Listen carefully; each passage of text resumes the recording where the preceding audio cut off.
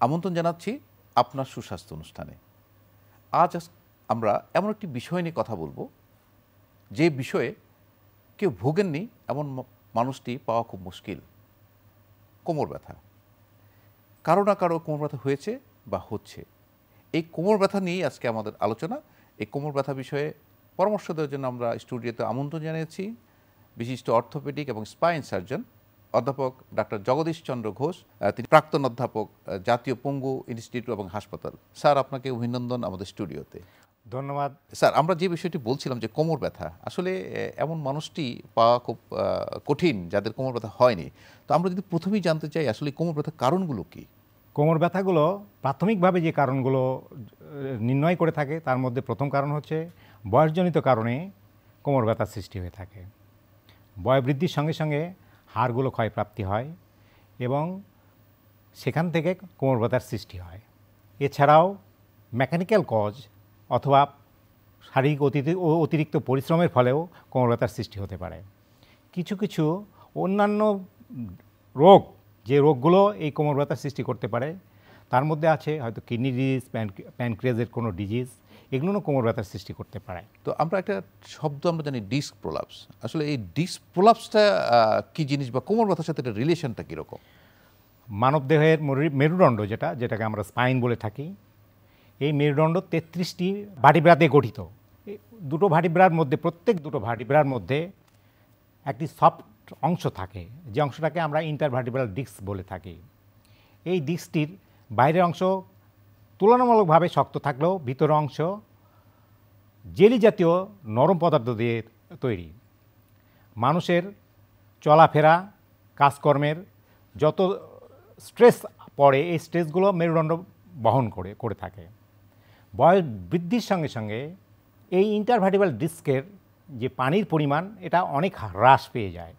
ফলশ্রুতিতে মেরুদণ্ডের যে সমস্ত ওজন বহনের ক্ষমতা, এটা পেরিফেরাল অংশের উপর পড়ে যায় যার ফলে পেরিফেরাল অংশ আংশিকভাবে ক্ষতিগ্রস্ত হয়ে যায় এবং পরবর্তীতে স্পন্টেনিয়াসলি অথবা কোনো কোনো ক্ষেত্রে পোস্টার চেঞ্জের জন্যই এই ডিস্কগুলো দুটো ভাটিব্রার মধ্যে বা কশরিকার মধ্য থেকে বেরিয়ে আসে। এটাকে আমরা সাধারণভাবে ডিস্ক প্রলাপ বলে থাকি। পিএলআইডি যেটা আমরা বেশি পরিচিত পিএলআইডি নিয়ে এইটার মধ্যে আসলে তফাৎটা কীরকম স্যার? আসলে পিএলআইডি হচ্ছে ডিস্ক প্রলাপসিরই একটি অংশ। মেরুদণ্ড যেটা আমরা বললাম, এটাকে আমরা সাধারণত কটি ভাগে ভাগ করে থাকি। আমাদের কাঁধের পিঠে যে মেরুদণ্ডের অংশ, এটাকে সার্ভাইকাল স্পাইন বলে থাকি। পিঠের উপরে পিঠে অংশ, যেটাকে আমরা থোরাসিক স্পাইন বলে থাকি এবং নিচের অংশের ভাটিব্রাগুলোকে আমরা লাম্বার স্পাইন বলে থাকি। যখন একটি ইন্টারভেটিভাল ডিস্ক লাম্বার এরিয়ায় অর্থাৎ পিঠের নিচের অংশের ভাটিব্রাগুলোর মধ্য থেকে বেরিয়ে আসে, সেটাকে আমরা প্রলাপস ইন্টারভার্টিবাল ডিস্ক বা পিএলআইডি বলে থাকি। যেহেতু এই ইন্টারভার্টিবাল ডিস্ক এর মধ্যে শতকরা নব্বই ভাগ বা তারও বেশি লাম্বার রিজন বা লাম্বার এরিয়াতে ঘটে থাকে এই জন্যই কমনলি এই টার্মটাকে পিএলআইডি হিসেবে অভিহিত করা হয়। স্যার এই পিএলআইডি যে লক্ষণগুলো একজন মানুষ কি কি লক্ষণ নিয়ে আপনাদের কাছে প্রেজেন্ট করে? পিএলআইডিতে সাফার করা- করা একজন লোক প্রথমত যেটা নিয়ে আসবে সেটা বলবে যে তার পিঠে নিচের অংশে ব্যথা অনুভূত হচ্ছে এবং সেই ব্যথাটা দুটো পায়ের মধ্যে সঞ্চালন হচ্ছে বা রেডিয়েশন হচ্ছে। আরও কি বলবে? সে বলবে যে এই যে পায়ের যে সঞ্চ- সঞ্চালিত ব্যথা, এই ব্যথাগুলো হাসি, কাশি বা ইন্টারঅ্যাবডোমিনাল প্রেশার বেড়ে যাওয়ার মতো কোনো কাজ, মলমূত্র ত্যাগ করা, এই সমস্ত ক্ষেত্রেই এটা বৃদ্ধিপ্রাপ্তি হচ্ছে। এছাড়াও মাংসের দুর্বলতা, বিশেষ করে পায়ের মাংসের দুর্বলতা পিএলআইডির ক্ষেত্রে ঘটে থাকে। এবং অনেক ক্ষেত্রে দেখা যায় যে তীব্র অ্যাটাকের ফলে মলমূত্র ত্যাগের যে কন্ট্রোল সেই কন্ট্রোলটা সে হারিয়ে ফেলে। এটা একটা ইমার্জেন্সি সিচুয়েশন হয়ে দাঁড়িয়ে। তা আপনারা নিশ্চিত হন কি করে যে তার পিএলআইডি হয়েছে? আমরা নিশ্চিত হওয়ার জন্য ম্যাগনেটিক রিজোনেন্স ইমেজিং যাকে এমআরআই বলে থাকি এমআরআই আমাদের ক্লিয়ারলি বলতে পারে যে কোন লেভেলে ভার্টিব্রাল কোন লেভেলে এই ডিস্কটা প্রলাপস হয়েছে এবং ডিস্কটা প্রলাপস সাইজ কত বড় এবং টাইপ কি এবং এটা নার্ভ অথবা স্পাইনাল কর্ডকে কম্প্রেস করেছে কিনা যার জন্য এই সিমটমগুলো হচ্ছে।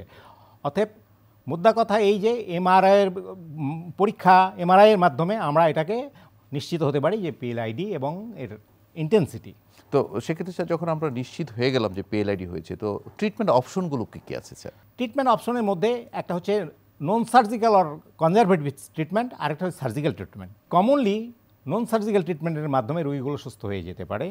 এই নন সার্জিক্যাল ট্রিটমেন্টের মধ্যে consist of inactivity of that part যদি এটা পিএলআইডির ক্ষেত্রে আমরা সেটা কি করব? যে কোমরের মুভমেন্টগুলোকে রেস্ট্রিক্ট করতে হবে।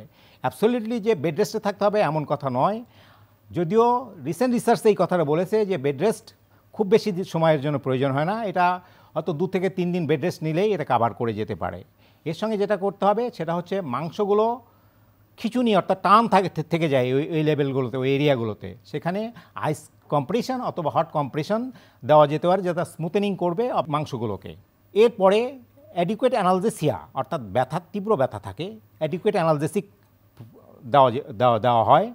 তাছাড়াও কোনো কোনো ক্ষেত্রে আরও তীব্রতর আরও তীব্রতর ক্ষেত্রে শর্ট শর্টওয়েভ ডায়াথার্মি বা আল্ট্রাসাউন্ড থেরাপি ব্যাকে অ্যাপ্লাই করা হয়। মানে যেটা বলছিলেন ফিজিওথেরাপির কথা বলছিলেন যেটা ফিজিওথেরাপি right. আচ্ছা যখন স্যার এই কনজারভেটিভ ম্যানেজমেন্টটা কাজ করছে না ব্যথা কমছে না ব্যথা ক্রমান্বয়ে বেড়েই চলেছে সেক্ষেত্রে আপনাদের পরবর্তী কি চিকিৎসা দেন? পরবর্তী চিকিৎসা সার্জিক্যাল চিকিৎসার দেওয়া হয় এবং এই সার্জিক্যাল চিকিৎসার জন্য কিছু ইন্ডিকেশন আছে। অর্থাৎ পার্টিকুলার ইন্ডিকেশনের জন্যই সার্জারিগুলো করা যায়। প্রথম ইন্ডিকেশন হচ্ছে যদি কোনো ক্ষেত্রে আমরা এমআরআই দেখি যে ম্যাসিভ ডিস্ক প্লাস হয়ে আছে যেটা নার্ভ এবং স্পাইনাল কর্ডের উপর প্রেশার সৃষ্টি করেছে এবং যে ব্যক্তি আক্রান্ত, তার মলমূত্র ত্যাগের কন্ট্রোলটাকে লস করে ফেলেছে। অথবা দুটো লয়াল লিম বা পা অবশ হয়ে গেছে। এই একটা ক্ষেত্র যেখানে ইমার্জেন্সি অপারেশন প্রয়োজন হয়ে ওঠে। এছাড়াও যদি কোনো রুগীকে আমরা কনজারভেটিভ মোডে চিকিৎসা করতে থাকি এবং দেখা যাচ্ছে যে তার প্রোগ্রেসিভ নিউরোলজিক্যাল ডেফিসিট অর্থাৎ এই যে নার্ভের যে সমস্ত অনুভূতি বা মাংসের যে দুর্বলতা এটা দিন দিন বেড়ে যাচ্ছে। সে সমস্ত ক্ষেত্রে সার্জারি ইন্ডিকেটেড হয়ে পড়ে। স্যার আপনারা তো দীর্ঘদিন থেকে এই- এই এই পিএলআইডি রুগী নিয়ে কাজ করছেন স্যার। আসলে ট্রিটমেন্ট অপশন যেটা সার্জারির কথা বললেন এটা এখন কি সব রুগীর ক্ষেত্রে কি সার্জারি প্রযোজ্য? না বেশিরভাগ ক্ষেত্রেই কনজারভেটিভ ম্যানেজমেন্ট ভালো হয়ে যায়। এটা কোনো আপনার কোনো তথ্যপাত্য আছে কিনা?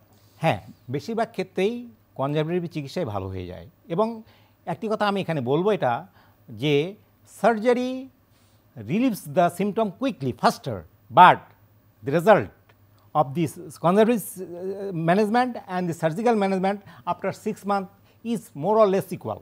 তার মানে স্যার সার্জারির ক্ষেত্রে আপনি যেটা বলছেন যে যে রিলিফটা পাবে সে, এবং কনজারভেটিভ ম্যানেজমেন্টের ছয় মাস পরে সে সে যদি সে নিয়মকানুন মেনে চলে, আপনারা যে পদ্ধতিগুলো দিয়েছেন, ওষুধপত্র দিয়েছেন বা যে ফিজিওথেরাপির কথা বলছেন, সেগুলোর ক্ষেত্রেও সমান রেজাল্ট পাওয়া যাচ্ছে। Ultimately prognosis is nearly equal or similar in both the processes but কিন্তু কিছু কিছু ক্ষেত্র, যেমন সার্জারি যদি না করা হয় বা ডিলে করা হয় ম্যাসিভ যে ডিস্ক প্রলাপস সেটাকে ডিলে করলে পেশেন্টের কমপ্লিকেটেড হয়ে যেতে পারে ইভেন কিছু অংশ প্যারালাইসিস হয়ে যেতে পারে।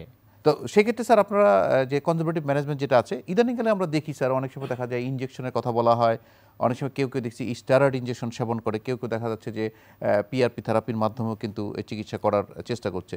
তো এগুলো স্যার আউটকামটা কেমন স্যার? দেখুন ইঞ্জেকশন যে চিকিৎসাটা এটা হচ্ছে ইন্টারমিডিয়েট একটা স্টেপ আমরা পেশেন্টকে কনজারভেটিভ চিকিৎসা করে তার সিমটমগুলোকে রিলিভ করতে পারছি না এবং পেশেন্টের সার্জারি ইন্ডিকেশনও নেই। সে সমস্ত ক্ষেত্রে ইঞ্জেকশন ট্রিটমেন্ট হয়তো টেম্পোরারি রিলিফ দিয়ে দেয়।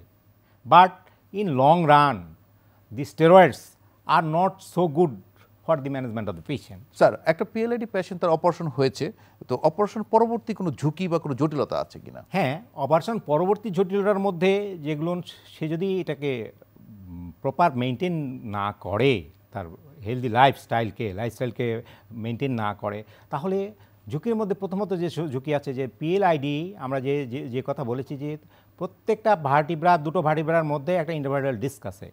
আমরা একটি জায়গায় অপারেশন করে দিলাম। পরবর্তী সে লাইফস্টাইল যদি সে মেনটেন না করে তা আরেকটি জায়গায় ইন্টারভার্টাল ডিসপ্লাস হয়ে যেতে পারে। কি পরামর্শ দেন যে অপার- অপারেশন পরবর্তীতে কি করা উচিত বা কি করা উচিত না? অপারেশনের পরেও যে সমস্ত নিয়ম বা বিধি বা এক্সারসাইজগুলোর কথা বলা হয় উপদেশ দেওয়া হয় সেই এক্সারসাইজগুলো এবং জীবনের লাইফস্টাইলকে মেনটেন করতে হবে হেলদি ফুড গ্রহণ করতে হবে যাতে ভার্টিব্রা বা বোনসের কোয়ালিটি মেনটেন করা যায়। অ্যাডিকুয়েট ক্যালসিয়াম সেবন করতে হবে এবং নিয়মিত ব্যায়াম করতে হবে। এবং ব্যায়ামটা আপনারা নিশ্চয়ই শিখাই দিবেন আমরা আমরা জানিয়ে দেবো অথবা ফিজিওথেরাপিস্ট তাদের সহায়তা করবে। এই পিএলআইডি অপারেশন করতে গিয়ে আমরা অনেক সময় দেখি অনেকে ভয় পায় যে করতে গিয়ে অপারেশন করতে গিয়ে প্যারালাইসিস হয়ে গেল বা এরকম কোনো ঝুঁকি কমপ্লিকেশন ইমিডিয়েট কমপ্লিকেশন আছে কিনা? These are very sensitive operation spine অপারেশনটা করতে গেলে অভিজ্ঞ চিকিৎসক বা অভিজ্ঞ শৈল শৈল চিকিৎসকের কাছেই অবশ্যই যাওয়া উচিত। যারা উপযুক্ত প্রযুক্তির মাধ্যমে প্রপার এক্সপোজারের মাধ্যমে নার্ভ ইঞ্জুরি যাতে না হয় স্পাইনাল কর্ড ইঞ্জুরি যাতে না হয়, সেটা দেখে অপারেশন করতে পারে। এবং যদি প্রপারলি এটা করা হয় টেকনোলজির মাধ্যমে আমরা অপারেশনের সময় দেখতে পারি মনিটর স্ক্রিনে যে কোথায় কোথায় আমরা ইঞ্জুরি করছি বা কোথায় লাগাচ্ছি, তাহলে সেই জিনিসগুলো যদি প্রপারলি করা হয়, তাহলে সেক্ষেত্রে ঝুঁকি খুবই কম। স্যার, আপনি অপারেশন পরবর্তী যে আপনি পরামর্শগুলোর কথা বললেন, যে আপনি ক্যালসিয়াম খাওয়ার বা পজিশনিং কথা, আমরা যেটা জানি, স্যার, যারা মানে খুব হেভি ওয়ার্কার খুব ভারী ওয়েট লিফট করে যাদের ক্ষেত্রে বলছেন আপনি যে ঝুঁকিটা আছে। তো এই অপারেশন পরবর্তী তারা কি স্বাভাবিক কাজ করে ফিরে যেতে পারবে কিনা? যেমনটি আগেই বলেছি যে অনেকগুলো ভার্টিব্রার মধ্যে ইন্টারভার্টাল ডিস্ক আছে। তো আমরা যে জায়গাটায় ম্যানেজ করে দিলাম, এটা আয়দার কনজারভেটিভ ওয়েতে হোক অথবা চিকিৎসা সার্জারির মাধ্যমে হোক। কিন্তু সে যদি তার প্রফেশনটা কন্টিনিউ করে তার ক্ষেত্রে রিস্ক কিন্তু থেকে যায়। তার মানে আপনি বলছেন যে হ্যাভি ওয়ার্কটা করা যাবে না। হ্যাভি ওয়ার্কটা করা যাবে না। আর যারা আরেকটা ক্ষেত্রে স্যার আমরা দেখেছি যারা সেডেন্টারি ওয়ার্কার যারা অফিসে কাজ করছেন কম্পিউটারে কাজ করছেন তাদের বসার দীর্ঘক্ষণ বসার কারণেও অনেক সময় দেখা যায় যে পিএলআইডি হচ্ছে স্যার তো সেক্ষেত্রে তার বসার পজিশনটা মানে পোস্টারটা কেমন হবে স্যার অ্যাকচুয়ালি পোস্টার যেটা হয় সেটা হচ্ছে আমাদের বডিকে হান্ড্রেড টেন ডিগ্রি বেন্ড করে বসতে হয় নট নাইনটি ডিগ্রি এবং যে ওয়ার্কগুলো করতে হয় যাতে মেরুদণ্ড বা স্পাইনটাকে বেন্ডিং কম করতে হয়। যদি টেবিলটাকে প্রয়োজনে, যেহেতু সে একজন অসুস্থ ব্যক্তি, তার যেহেতু সাপোর্টের প্রয়োজন বা ভালো থাকার প্রয়োজন, সেই জন্য তাকে কিছু লাইফস্টাইল চেঞ্জ করে নিতে হয়। যদি ল্যাপটপে কাজ করতে হয়, প্রয়োজনে ল্যাপটপটা একটু রেস্ট করে নিতে হয় ল্যাপটপের ডেস্কটা, অথবা টেবিলটা যাতে কাছাকাছি আসে, যাতে ঝুঁকে কাজ করতে না হয়। এমন পোশ্চার যদি মেনটেন করে এবং বেন্ডিং পোশ্চারে কোনো সময় ওয়েট লিফটিং করা যাবে না। যদি তাকে ওয়েট লিফট করতে হয়, প্রয়োজনে হাঁটু বাঁকিয়ে নি ব্যান্ড করে ওয়েট লিফট করতে হবে। এই সমস্ত যদি সে নিয়ম মেনে চলে সেক্ষেত্রে তার জন্য ঝুঁকি কমে যাবে। স্যার আপনি বলছিলেন যে লাইফস্টাইল মডিফিকেশনের কথা বলছিলেন আপনি বলছিলেন যে ক্যালসিয়াম খাওয়ার কথা বলছিলেন। তো খাদ্যাভ্যাসে কোনো খাদ্যাভ্যাস পরিবর্তনের প্রয়োজন আছে কিনা বা কী ধরনের খাবার খেলে তার মেরুদণ্ডের হারটা ভালো থাকবে বা বা ক্যালসিয়ামের ক্ষয়টা হবে না? এই ক্ষেত্রে যেটা বলব যে আমাদের সাধারণত আমাদের বাংলাদেশের যে আমরা সিটিজেন বা বাংলাদেশের নাগরিক যারা বাংলাদেশের লোকজন যারা তাদের ইন অ্যান্ড অ্যাভারেজ বারো থেকে চোদ্দোশো মিলিগ্রাম ক্যালসিয়াম পার ডে প্রয়োজন। আমাদের অনেক খাদ্যের মধ্যেই এই ক্যালসিয়ামগুলো রয়েছে।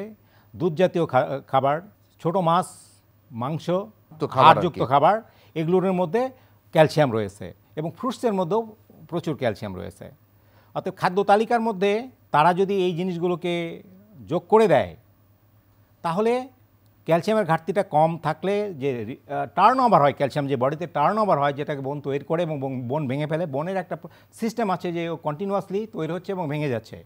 তো সেখানে যদি ক্যালসিয়ামের ঘাটতি হয়ে যায়, তাহলে যে ডিজেনারেশন যেটা হয়, সেটা বেশি হয়ে যায় এবং সেই সমস্ত জিনিসগুলো আমাদের রিস্ক বাড়িয়ে দেয়। জি মানে ক্যালসিয়ামের জন্য রিক্সটা অনেকটা বেড়ে যায়। স্যার, ইদানিংকালে আমরা দেখি, স্যার, আমাদের দেশেও এটা আমরা খুব দেখছি যে ভিটামিন ডির অভাব মানে ভিটামিন ডির অভাব। সে- এই ভিটামিন ডির সাথে, স্যার হাড় ক্ষয়ের কোনো সংযোজন আছে কিনা? ডেফিনেটলি ভিটামিন ডি ক্যালসিয়ামকে কাজ করার জন্য vitamin D active form of vitamin D প্রয়োজন। অর্থাৎ ভিটামিন ডির অভাব থাকলেও বনগুলো সবল বা সতেজ হবে না। তো ক্যালসিয়ামের সঙ্গে অ্যাডিকুয়েট ভিটামিন প্রয়োজন। যদি ভিটামিন সাপ্লিমেন্ট ভিটামিন ডি সাপ্লিমেন্টও প্রয়োজন হয়, তো ভিটামিন ডি সাপ্লিমেন্ট নিয়েও অ্যাডিকুয়েট ভিটামিন ডি থাকলেই বনগুলো মজবুতভাবে গড়ে উঠবে। এবং এই ভিটামিন ডি সোর্স স্যার আমরা যেটা যতটুকু জানি যে সানলাইট একটা সোর্স সানলাইটে ভিটামিন ডি পাওয়া যায়। তো আমরা তো আসলে সানলাইটের এক্সপোজার খুব হচ্ছি না। তো সেক্ষেত্রে স্যার আপনার কোনো পরামর্শ আছে কিনা? যেমনটি আপনারা বলে থাকেন যে নিয়মিতভাবে হাঁটার একটা অভ্যাস করা। ভোরে হাঁটা বা বিকেল হাঁটা, অভ্যাস করা বা নিয়মিতভাবে হয়তো এক্সারসাইজের কথা আপনি বলে থাকেন। তো এই এইসব রোগীর ক্ষেত্রে আপনি এই পরামর্শ দিবেন কিনা? একটা ব্যাপার হচ্ছে যে ক্যালসিয়াম ভিটামিন ডি শুধু থাকলেই হবে না সানলাইট থেকে আসলেই হবে না, এটাকে মেটাবলাইজ করে অ্যাক্টিভ ফর্মে আসতে হবে, তার কাজ করার জন্য। তো অ্যাক্টিভ ফর্মে আসার জন্য আমাদের যেমন কিডনিকে অ্যাডিকুয়েট কিডনির ফাংশন লাগবে অ্যাডিকুয়েট লিভার ফাংশন লাগবে এবং কিছু কিছু অবসকিওর কারণের জন্যই দেখা যাচ্ছে যে আমাদের দেশের লোকজন যদিও সানলাইটে প্রচুর পরিমাণ বা পর্যাপ্ত পরিমাণে অবগাহন করে বা বা থাকেন তারপর এক্সপোজ এক্সপোজ হন। তারপরেও আমাদের দেশে ভিটামিন ডি ডেফিসিয়েন্সি দেখা যাচ্ছে। ফিজিক্যাল ফিটনেস রক্ষা করার জন্য যে হাঁট- হাঁটাহাঁটি করি অথবা এক্সারসাইজ করি এর সঙ্গে ভিটামিন ডি যে supplementation either through food or through the supplemental drug এটাকে অ্যাডিকুয়েট রাখা বেশ প্রয়োজন।